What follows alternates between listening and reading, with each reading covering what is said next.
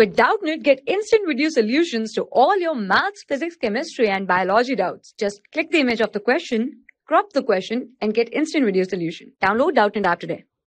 In this question, four point masses, each of mass small m, are fixed at the corners of a square of side of length L.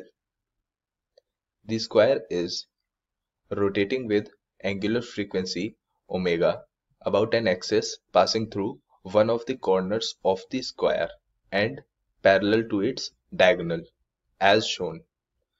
The angular momentum about this axis is now here is a square of side length L. This side length is L and there are four masses of mass small m that are fixed at corners of this square.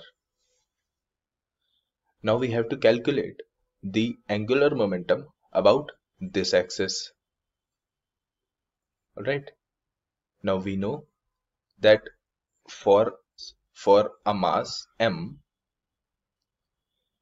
let's just say we have to calculate the angular momentum about this axis so what we require is we require the mass and the perpendicular distance from this axis.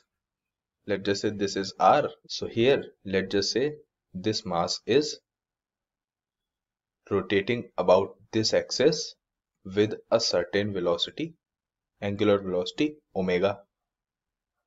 Let's just say this is omega.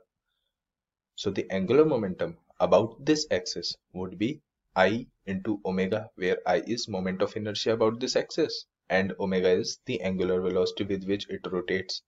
So the angular so the moment of inertia here is mr square and omega is the angular velocity with which it rotates. Now what we have to do is we have to calculate each and every one of the angular momentum here and then just add it up. Alright? So let's just say this is mass m mass 1 this is 2 this is 3 and this is fourth. So we know the angular momentum then total angular momentum would be i1 omega plus i2 omega plus i3 omega plus i4 omega. Each and every one of these masses have a constant angular velocity omega about this axis alright so let's just take it as a common. Omega is equal to i1 plus i2 plus i3 plus i4 now let's individually calculate the moment of inertia of all of these masses. For the first one i1 would be 0 because the distance here r for m1 mass here is 0 for I2 this distance is let's just say we have to calculate this distance right? So this distance is the half of the diagonal. This is the diagonal that I'm talking about. Alright this is the half of it. So let's just calculate it using so the area we can calculate it from area. The area of this square is L square. And we know that this triangle 3 2 4 in this triangle the area is half. So the area is half L square. Or we can say this area is equal to half into base into height. So we can write half into base is let's just say this is the diagonal that we have to calculate the length. Let's just say this is capital L.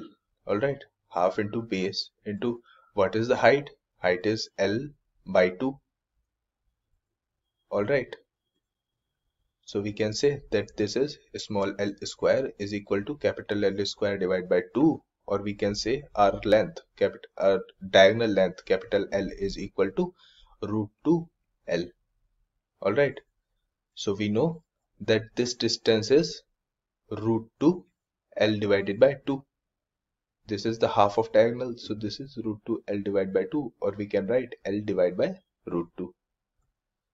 Now we know for I2 this is equal to mass into half of the diagonal is L divided by root 2. L divided by root 2 into square square of it. Alright. So this is ml square divided by 2. For I3, I3, this is mass into distance square. The distance is, this is the perpendicular distance that we are talking about. This is perpendicular distance from the axis of rotation. Alright, so this is m into L divided by root 2 square. This is the full length of the diagonal. So this is ml square divided by 2.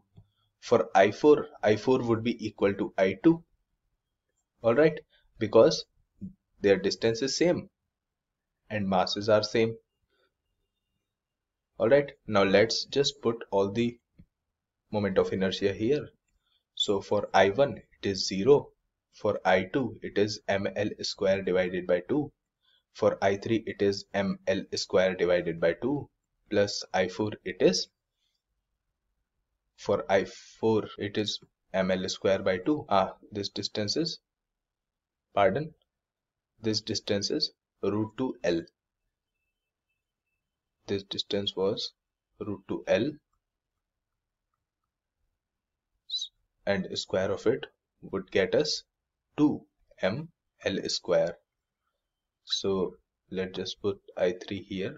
This is 2m L square. Now let's add up this omega into this is ml square plus 2ml square. So this comes out to be 3m L square omega. This is our final angular momentum. Now let's match up with these options here. 3 ml square omega our option 3 is correct. For class 6 to 12, IIT JEE and NEET level. Trusted by more than 5 crore students. Download Doubtnut App today.